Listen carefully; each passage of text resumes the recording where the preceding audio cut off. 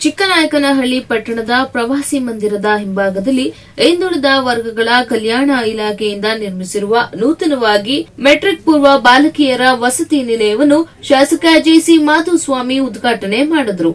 ಹದಿನಾರು ಕೊಠಡಿಗಳಲ್ಲಿ ಐವತ್ತು ಜನ ವಿದ್ಯಾರ್ಥಿನಿಯರು ವಾಸ ಮಾಡಬಹುದು. ಹದಿನಾರು ಕೊಠಡಿಗಳು ಶೌಚಾಲಯ ಸಹಿತ ಕೊಠಡಿಗಳಾಗಿದ್ದು ಈಗಿರುವ ವಸತಿ ನಿಲಯ ಚಿಕ್ಕದಾಗಿತ್ತು. ನೂತನವಾಗಿ ನಿರ್ಮಿಸಿರುವ ವಸತಿ ನಿಲಯ ಸುಸಜ್ಜಿತವಾಗಿದ್ದು, ಅಡುಗೆ ಮನೆ ಸೇರಿದಂತೆ ಮೂಲ ಸೌಕರ್ಯಗಳನ್ನು ಹೊಂದಿದೆ. ವಸತಿ ನಿಲಯವನ್ನು ಸ್ವಚ್ಛವಾಗಿಟ್ಟುಕೊಂಡು ಉತ್ತಮ ವಿದ್ಯಾಭ್ಯಾಸ ಮಾಡುವಂತೆ ಶಾಸಕ ಜೆಸಿ ಮಾಧುಸ್ವಾಮಿ ಸಲಹೆ ನೀಡಿದರು.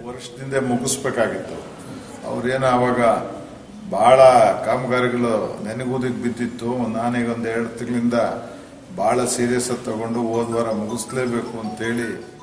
ಈ ಸಂದರ್ಭದಲ್ಲಿ ಜಿಲ್ಲಾ ಪಂಚಾಯಿತಿ ಸದಸ್ಯರಾದ ಮಂಜುಳಮ್ಮ, ಆರ್ ರಾಮಚಂದ್ರಯ್ಯ, ತಾಲೂಕು ಪಂಚಾಯಿತಿ ಸದಸ್ಯ ಕೇಶವಮೂರ್ತಿ, ತಹಶೀಲ್ದಾರ್ ತೇಜಸ್ವಿನಿ, ಸಮಾಜ ಕಲ್ಯಾಣ ಅಧಿಕಾರಿ ರೇಣುಕಾದೇವಿ, ಜಿಲ್ಲಾ ಹಾಲು ಒಕ್ಕೂಟದ ನಿರ್ದೇಶಕ ಹಳೆಮನೆ ಶಿವನಂಜಪ್ಪ ಸೇರಿದಂತೆ ಮತ್ತಿತರರು ಉಪಸ್ಥಿತರಿದ್ದರು.